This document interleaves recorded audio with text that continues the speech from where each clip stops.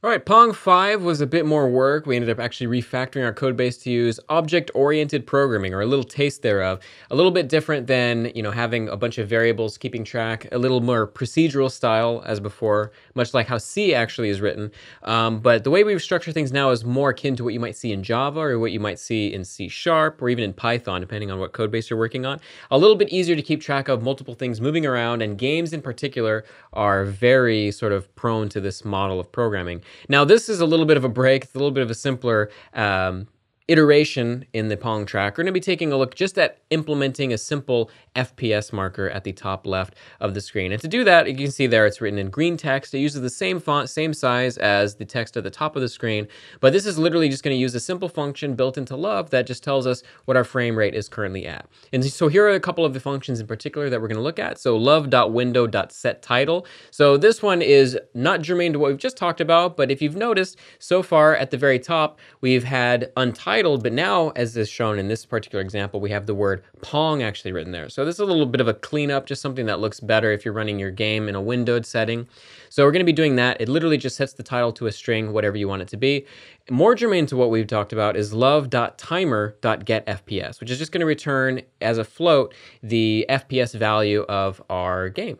So very simple, very straightforward. And that's pretty much it. So let's go actually go right into the code here. So what I'm going to do is I'm going to scroll down to the very bottom. And what we're going to do is just render this to the screen. So just, we know we want a string rendered to the top left. All I'm going to do really is I just need to insert something right here. Basically, after everything else is rendered, I want to display the FPS. Now, I don't want to get into the habit of just kind of writing a bunch of code in place inside these methods. I think this would be more suited to a function. So let's say I want to display FPS like that. And I'm calling it like you might have seen in C, just a very simple sort of procedural function call. Because what I'm going to do is just write it here in main.lua itself. So I'm going to say function display FPS. I'm not even going to have it take a parameter. This is going to be very straightforward.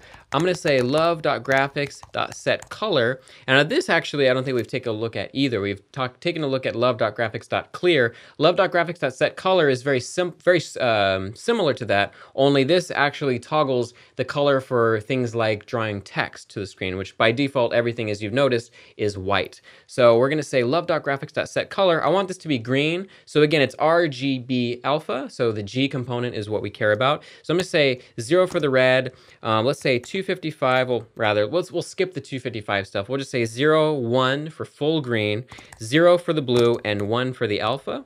Then I'm going to say love.graphics.set font of small font and love.graphics.print.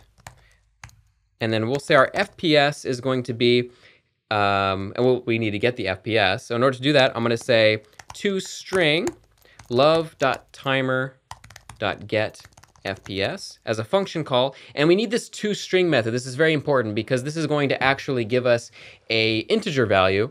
And this value is going to be incompatible with adding to a string. You might actually notice that we have this dot dot here. This dot dot is the string concatenation operator. So this just means we add two strings together, one and then tail it at the end of the other one. You probably touched on this in uh, C throughout the course. Now it's a different operator in uh, in Lua. In Python, it's a plus, and in C, uh, well, you can't really do that with C. You have to use uh, something else altogether. But what we're going to do is say FPS concatenate with that, and then we're going to, let's just draw this, let's say at 40 and 4. Actually, no, we'll do it at, uh, yeah, 40 and 20. And that's it. And then last one last thing I, I do want to do actually is set everything back to white as the default color for whenever it draws the next thing, the paddles and the text and whatnot. So I'm to say 1111 at the end of that. And if we run the code here, we do indeed see we have an FPS uh, display at the top of the screen. And it started off at 49. It's a little bit of a weird thing. Love actually has to get a, a little bit of frame data so that it can calculate what the FPS is because it actually tracks it across multiple frames. That's why at first it was 0, then 49, and now it is smoothly at 60. Thankfully, my computer is strong enough to run this very simple, um, barely functioning Pong example. So that was it for Pong 6, very simple. Um, in the next update, we're gonna take something a little bit meatier um, on our hands, the collision update. So, so far the ball does not actually collide with the paddle at all. It just will go straight through it because we have no code to test for whether the ball and the paddle have intersected.